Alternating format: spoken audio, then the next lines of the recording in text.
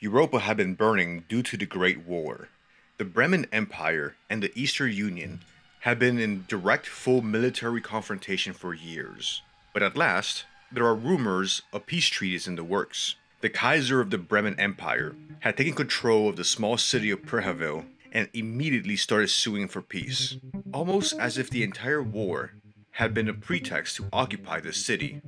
Perhaps the Bremen Empire and the Kaiser knew that there was something special, or rather different, there. Could the Bremen spies in the city have informed the Empire that there was a reason that the Eastern Union had built miles and miles of bunkers underneath the city? Perhaps the spies of the Empire, working at the Prehevil Museum, passed on information about some secret structure underneath the museum? Why would anybody need to move heavy digging equipment to a museum that's in the center of a city? There had to be something underneath there, underneath the city. What was so important that the course of the war would pivot on this small, unremarkable, old fashioned city? Rumors had made it out of a project called Logic being worked on by the smartest engineers on the continent. Rebel groups, the Empire, and the Union all seemed fixated on this city. Reports of some machine or tool called the telelectroscope have been intercepted, but no one seemed to know what that was. Fear Hunger 2 Termina is what you get when you mix the movie Battle Royale, Legend of Zelda's Majora's Mask, and the Cthulhu Mythos. It's a PC survival horror RPG available on Steam. In this video, we'll explore the mysteries of the teleelectroscope, the logic, the machine god, and what happens in one of the endings of Fear Hunger 2 Termina. We will be covering some parts of the endgame in detail, so massive spoilers ahead. If you like a challenge and a dark, fascinating, though cruel world to explore, it's best to explore it with no spoilers. So, if this seems like something you'd be interested in, I recommend you check out the game and then come back. Also, content warning on the game, there are some very adult and mature themes in it. So just a caution if you approach the game that there might be some material you may not be in a state of mind to process.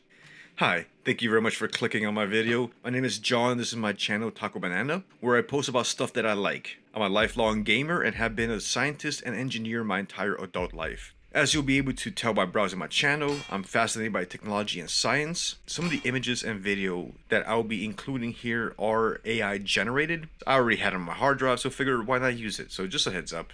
So just for transparency.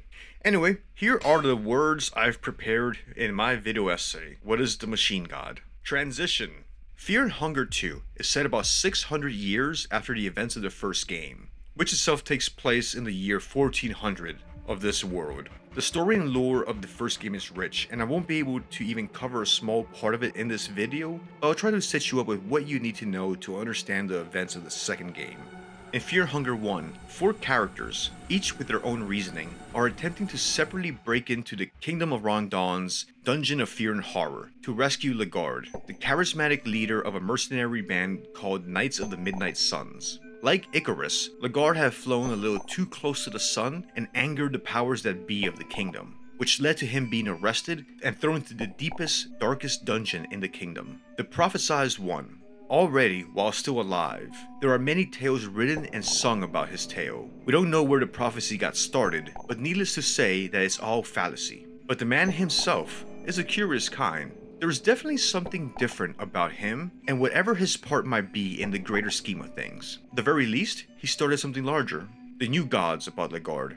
Cahara the Mercenary, Enki the Dark Priest, D'arce the Knight, and Ragv the Outlander descend into the dungeon to find Le'garde, only to discover that they had been led there for reasons unknown to them. Le'garde had staged the entire situation, his capture and the four rescuers, so that he would end up in the bottom level of the dungeon with people capable to help him complete his expedition. Le'garde knew the dungeon's greatest secrets and the reasons the dungeon had descended into a storm of violence and miasma. You see, there was a door, a special door, at the very bottom of the dungeon that only opened to the holder of a very special cube a cube that Le'garde had destroyed Ragv's hometown to steal. Behind this ancient door waited the ancient city of Mahabre, the city of gods. Mahabre was the ancient city where the Fellowship had traveled to in the year 800, a full 600 years before the events of Fear Hunger 1. And over a thousand years before the Festival of Termina in Part 2. An ancient city that still held traces of the new and old gods that existed on its own in space and time. It felt like a city that should not be able to exist, at least not this far underground.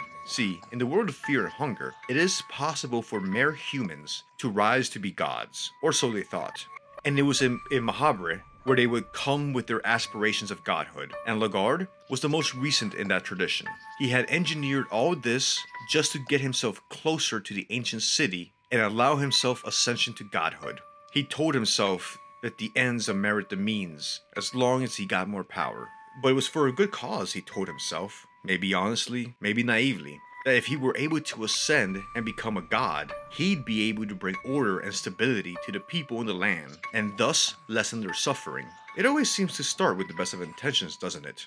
Le'Garde, like the new gods and the fellowship before him, also wanted to ascend to godhood in order to rival the power of the old gods. While the new gods were humans that had touched the powers of the gods and had ascended, the old gods were different. They were not born in this world, they were part of the very fabric of existence creation, destruction, nature, the depths, and Rher, the trickster moon god. They each represented basic concepts of existence. They also represented the targets of the ire of humanity for all the plagues, famines, disaster, tragedies, and wars that humanity had had to endure. Since the beginning of time, humans have been trying to find a way to end the chaos and bring order and take the power away from the gods to gain control over chaos. One of the new gods, a member of the Fellowship, was also working on a secret scheme, another avenue of attack against the old gods. Sired by Le'Garde, she would birth another ancient one and give rise to a new god, one that might be able to stand against the old ones, the god of fear and hunger. A soul that radiates the light of an older god. The soul has formed itself inside the body of a little girl. The mother of the Ancient One is the Endless One, and the father is the man from the prophecies. The result of such an unholy union are unfamiliar to us.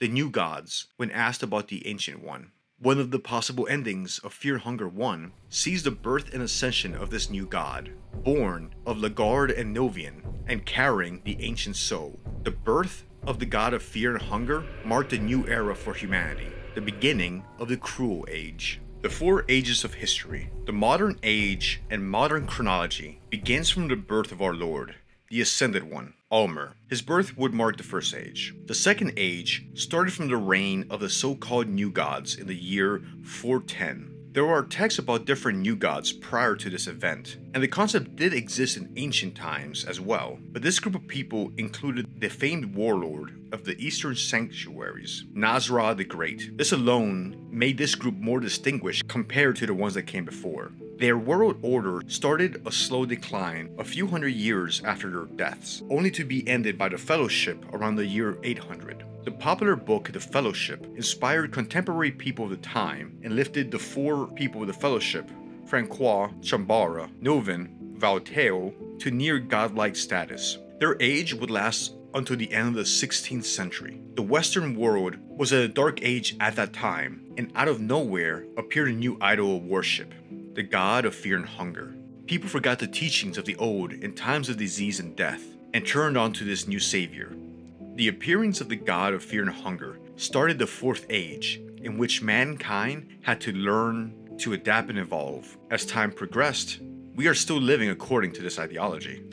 Little is detailed about the cruel era in the games of Fear and Hunger 1 and 2. You don't find many mentions of these 600 years in the books scattered across town. It's almost as if humanity had decided to do its best to not remember these times. What we do know is that Le'garde was out there. Well, maybe not Le'garde as we knew him in part 1, but rather the King in Yellow, doing what he would do to further his goals. But whatever it was, it was discreet, since he seemed to have stayed out of the history books. During the Cruel Era, in response to famine, plague, disasters, and other such tragedies, humanity was forced to evolve and adapt. Forced to understand and study the rules of the world and use them to their advantage, use it to gain leverage, with the goal of bringing order and stability out of chaos. Humanity started developing science, technology, and engineering Le'Garde and humanity both sought order and stability, for this is how societies grew and thrived. So humanity built more cities, machines, industries, factories, all with the goal of making life a little bit more manageable and easier. Maybe with these new tech tools, humanity would finally be able to wrestle control away from the gods and take control of its own destiny. Could technology be what humanity needed to finally wage an assault on the old gods and take control? Could sufficiently advanced technology and determined enough people be enough to challenge the very basic concepts and fabric of existence? And so we arrive at the events at the beginning of the game. The game begins with a train traveling to Prehevil, carrying our unlucky protagonist, 14 of them, the recently conquered capital of the Bohemian region, the city that the Kaiser seems to have been solely focused on. One by one, they fall asleep listening to the melodic repeating sounds of the train running down the track. They each have a nightmare, the same nightmare. A nightmare that included a masked man who had been showing up in the dreams of the locals for the last few weeks. In the city, you might find a flyer about this man. Have you seen this man in dreams? Over the past week or so, since the full moon, people all over Prehevil and its neighboring settlements see this face in their dreams every night. If you are one of them, or if you have any information that can help us identify this person, please contact us. In the dream, this mysterious man, the moon's jester, explains to our unlucky protagonists that they have been chosen to participate in the Festival of Termina by the trickster moon Rher. Today, the 14 of them are alive. At the end of three days, there must only be one of them and that survivor would be the winner of the Festival of Termina. If there was more than one of the participants still alive at the deadline, they would all die. One by one, the participants wake up from the dream. The train is stopped outside the city and has been deserted. No evidence of the crew or anybody else in the area. Just a thick fog covering the woods on the outskirts of the city. The train won't start, and there's no obvious reason why. Everything looked fine. Abella, the engineer, checked it out and couldn't find any issues with it, in spite of her expertise in mechanics. How did they all have the same dream? Where was the crew of the train? Why wouldn't it start? Why had they stopped short of their destination? The war was supposed to be over. There wasn't supposed to be any more fighting. What happened? The participants realized that they are walking distance from the city. At least the train had gotten them almost all of the way there. The thick fog made it impossible to see more than a few meters, but they had enough visibility to one by one stumble their way into the city, fumbling through the forest. Though Prehevil is a regional capital, it's an old and reclusive city, slow to modernize. Its inhabitants still adhere to the ancient traditions, practicing old and dark rituals to honor the ancient deities, including human sacrifices. Prehevil was a medium sized city with a massive tower at its center a tower that seemed important to the locals, though they wouldn't talk to outsiders about it. Prehevil document. There have been settlements here for as long as the history books cover the area. It has always centered around the mysterious hollow tower that works as a central pillar of the community. The city flourished during the cruel age in the 1600s, but it quickly fell from prominence the closer we got to modern times. I understand the city is medium in size as far as cities in Eastern Europa go, but still, I find it hard to believe that this place would serve as a hub of any kind in a civilized world. For some reason, the government officials insist that Prehevil keep its capital identity, despite being one of the most remote and unwelcoming cities in all of Bohemia, if not all of Europa. The only explanation I can come up with is that the country is proud of its old archaic rites that still go down in the city and they want to show their full support. If you were to visit Prehevil and sightsee its small center, you'd see glimpses of its ancient glory days, still well and alive in these modern days. Do not let the Western style shopping districts with its latest movie posters and advertisements fool you. The locals still worship the old world order in the dank and crumbling parts of the city. Ritualistic murder sites are still around the corner no matter where you are in the city. While the churches look dedicated to our one true god Almer from the outside, insides tell a different story. Ancient gods without name in any known language still linger in these crypts. And why wouldn't they? You can hear the priests chant their masses in the moonlight alleys during the dead of night. The whole wicked city is a playground for the ancient beings, and the people living there offer themselves to the first taker without a second thought. In the Soldier's diary, we read Frankly, I'm baffled at how a city of this size has managed to stay isolated from neighboring influences in modern time. The Prehevil folk still hold on tightly to religious rites as old as the Fellowship itself. Human sacrifices creep me out in this day and age. Even if I've seen the horrors of war, the crucifixes set around the city manage to send a chill down my spine. As the participants approach the city, they very quickly realize something is gravely wrong. The woodsman is an obvious first warning sign. As they approach the city, the remaining surviving locals look distraught, transformed, Radiated? No. Burned? Poisoned? No. None of the above. They had been moon scorched. Some of the non violent ones were even peeling flesh off of themselves. What was it? What happened here? An experiment? A disaster? Was this intentional? Natural? Scientific? Was the entire city like this? What else was hidden behind this thick fog? The ones coherent enough to speak made a reference to being scorched, but by the moon? How does that happen? Was the moon also responsible for this green hue to the fog at night? We find the soldier's letter, and it reads Dear Gisela, I write this letter in great sadness. I'm afraid I will have to postpone my return to your loving bosom. Even the Great War is supposedly over, our task seemed to be anything but. After running around following orders that would sicken every sane person who had not witnessed the horrors of war, I think I finally started to see the red line our Kaiser has been following all along this rotten city. It was the very thing our Kaiser strived to conquer since day one. I do not think it was a coincidence that very soon after reaching the city, the Kaiser decided to withdraw Bremen forces elsewhere and agree on terms of peace. I don't know what's so special about this miserable place, but I even heard that the Kaiser himself will be coming here in upcoming days. Maybe after that, I can return home. I hope you're able to wait for me just a little longer. Yours forever, Joni. So obviously, the local population has suffered under the recent invasion and occupation by the Bremen Empire. Parts of the city were demolished by combat and have been mined.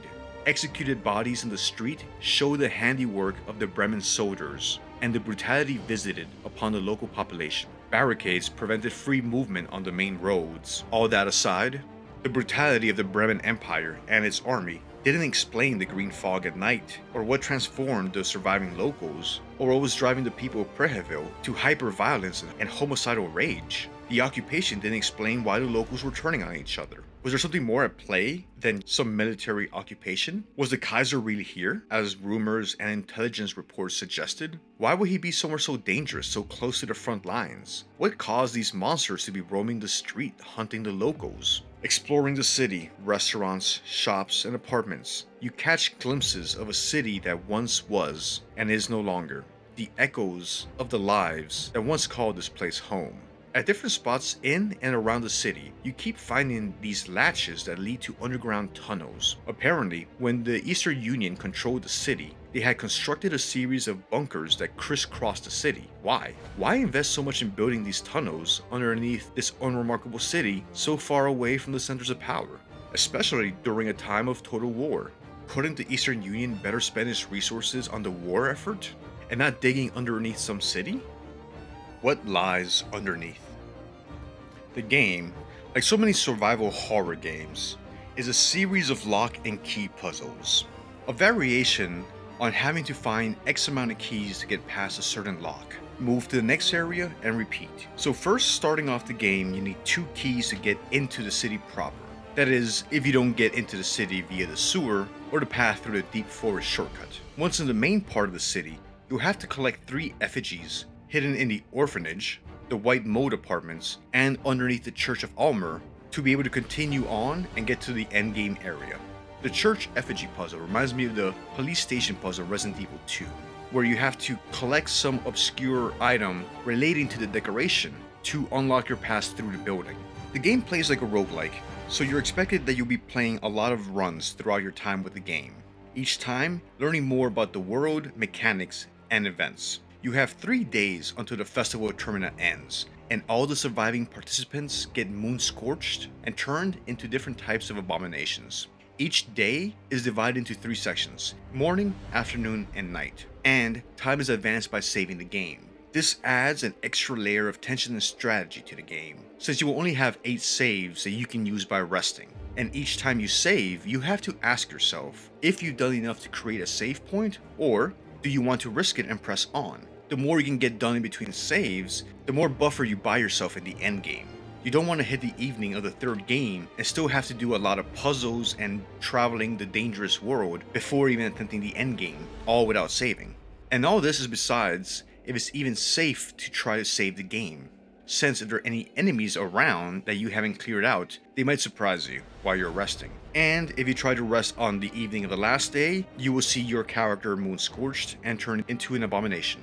So once you lock the gate and the path at the Church of Almer, you can go for the endings at the tower or the museum. If you're the only surviving participant, not judging how that happened or how the other participants met their end, you'll be allowed into the tower to confront Perkele and the moon god to get the escape ending. But if you explore the underground, found all three telelectroscope stations that are connected to the logic and activated them, you'll be able to access the other ending at the White Bunker, where you'll find the Kaiser waiting for you. The telescopes have to be activated across the map. One is in the first bunker where Bella can be recruited, one past the sewer treatment puzzle and the Foundations of Decay, and the third in the bunker hidden in the deep forest. The game doesn't explicitly tell you how to unlock the blast doors to the white bunker, like it explicitly tells you about the keys to the gate or the passage at the Church of Almer. Though the game does strongly give you a hint by placing the first telelectroscope at the very beginning of the game with a critical item right in front of it. One of the two keys needed to get past the first gate is found right in front of the console that activates one of these stations. This was placed there to catch the player's attention and have you start wondering what is connected to and what the logic is. So, at the end of the game, you've made your way to the museum, past all the creepy partygoers in their Venetian style mask, making it look like a haunted Mardi Gras that I never want to attend. You'll have to solve the astrological clock puzzle. Side note, it seems like this clock, and actually the entire city, might have been loosely inspired by Prague, which is in the real world Bohemian region of Eastern Europe. Unlocking the clock puzzle, you go underneath the museum and you find a secret excavation there and discovering massive blast doors preventing you from entering the white bunker. Members in your party might make the observation that it seemed like this area had been sealed off, only recently excavated and accessible. An excavator nearby only drives home the suspicion that there had been a lot of recent work digging up a path to this blast door. This is the last stop in your ordeal in Fear and Hunger 2 Termina. One of the endings is behind this blast door. So, having visited all three teleelectroscope stations and activated them, the blast door is functional and active. With hesitation and doubt, we open the blast door, enter the white bunker, and the endgame has commenced. Unfortunately, the protagonist and anybody else in the party is unaware that regardless of how the game ends, they would never leave the bunker again and see the outside world. At this point, we should take it aside to go over some of the late game findings that flesh out some of the details about the secret project being carried out underneath the city. You find the NLU Reconnaissance Report number 2. It details the information on Riley Audrey Haas, a brilliant young engineer, sister to Olivia Haas, that had been recruited for Operation Logic in Bohemia and promoted to the position of head engineer in the operation. Eventually, when the Bremen Empire expanded their control over the region, she was arrested for treason against the Empire and held for interrogation. There, the Kaiser and the Bremen Empire were able to get information about Operation Logic from her. Eventually, the NLU was able to break her out of the East Bremen state prison. At that point, she was marked as a person of special interest by the Kaiser. With all its might, we assume that the Empire was able to eventually capture her again. Rayla Haas. So that was the girl that we've been having visions of. She's the one that's been placing the blue butterflies to mark our way to the telelectroscope stations to get us to power them up. Was she trying to get us to finish setting everything up for her final ascension to machine godhood? She was also Olivia's sister. Olivia is one of the participants of the festival and was on the train. The botanist seems like an inclination towards the sciences runs in the Haas family. A quick aside that I wanted to make here, and something I like about the games of Fear and Hunger, is the representation. In the first game, the character that fills the knight archetype is a woman, D'arce. In the second game, Abel is an engineer, Olivia and Rayla are scientists. Olivia is also disabled, needing a wheelchair. Not that it slows her down, and she can become a very powerful character. Levi is a trauma victim and a child soldier who's coping with addiction. Marina is a badass occultist in spite of her being looked down upon for being a trans woman. Marco, in spite of being a large, muscular fighter, comes off as very empathetic, contrary to his fighter archetype. Karin, though born an aristocrat, is a selfless activist. Cahara, in the first game, is not at all possessive of his partner and goes to the dungeon trying to provide for his partner and unborn child. In fact, now that I think about it, most of the playable characters in both games come off as pretty good empathetic people. I don't know. What do you think? Let me know in the comments. So, in the White Bunker, you press on, you fight your way past the elite of the Bremen army, protecting the leader of their empire at all cost you continue further down to the bunker, dodging these fucking insta-kill enemies that have only now been introduced. Seems like it's the game just reminding you not to get too comfortable in case you are feeling like a badass at the end of the game. Trying to find clues and digging through notes, you discover what the telelectroscope had been connected to. Rows and rows of databanks and servers. The White Bunker was in part a massive data storage facility that had been wired to the entire city.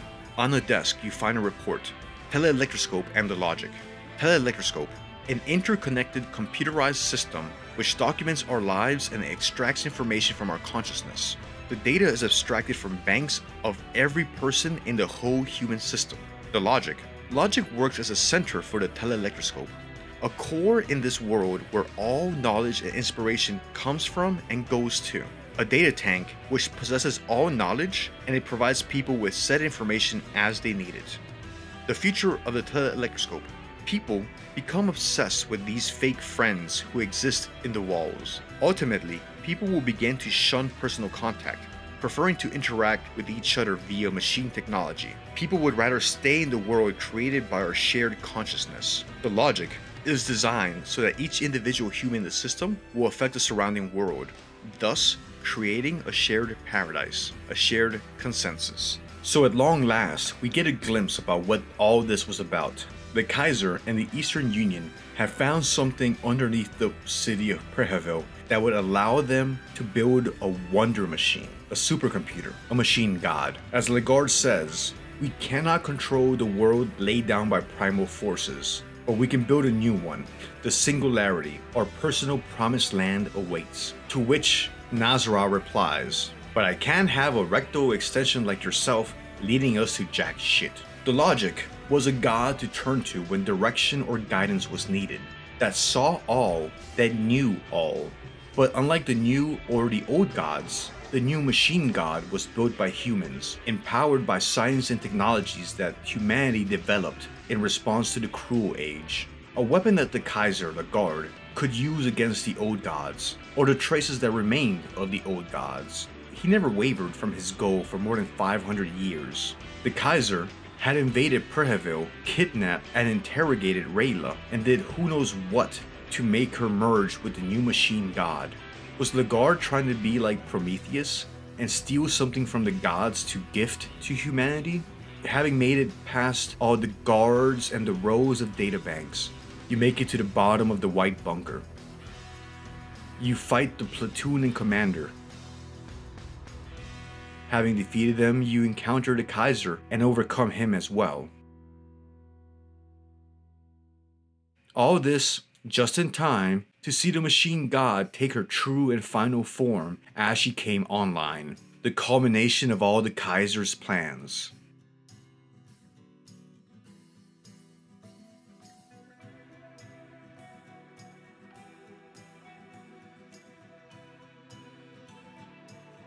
After a long and difficult fight, you manage to beat the machine god, maybe deactivate her. You don't know, but you lose consciousness.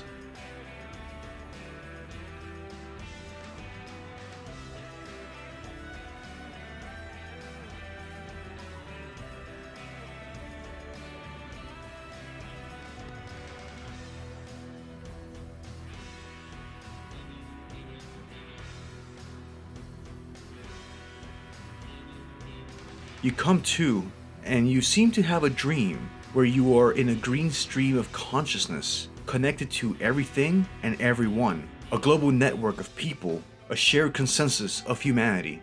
The machine god welcomes you to paradise, and the brave protagonists that enter the white bunker are never seen again. Had they thwarted Le'Garde, or merely delayed him? Had they actually defeated the machine god, or only delayed its ascension? Could humans ever dare take on the old gods? Could humanity use science and technology to impose order on our chaotic world? Were the old forces of chaos of the universe too much for humanity to ever be able to rival? It's hard not to think about analogies to where our society is. Soon, most of us will never have known a time when data was scarce and limited to books and print media, where it was normal to be completely separated from the global networks of communication for long periods of time. In time, there will be no one left alive that can remember before faceless gods of the algorithms dictated so much about what we see, hear, read, and eventually think. What will it mean for us to elevate these technologies that will soon be able to mimic the human brain and generate art, text, video, images, and music that imitates our human expression? What will it mean that our new machine gods are able to provide for us things that we cannot distinguish from, from the real thing. What happens when there's no distinction between the real and the virtual? What would reality be then? What would be the result of our embrace of virtual realities that only exist on computer networks? What is lost when ideas and personalities can carry out completely synthetic lives on global networks? Must we be careful with what we elevate to godhood? So that's my video trying to break down a little bit about the ending of Fear and Hunger 2, what Le'Garde was up to, and what the Machine God is. Thank you very much if you've made it all this way to the end of the video. I really appreciate it and I hope you've enjoyed it. What do you think? What do you think the Machine God represented? You think I'm right in my analysis? Or do you think I'm misreading something? Let me know in the comments. Either way, I appreciate your having watched. Thank you very much for joining me and you have a good one. And if you think I should be doing more of this type of content, please like and subscribe. It's always a big help for a growing channel. Do you welcome our new robot overlords? Later.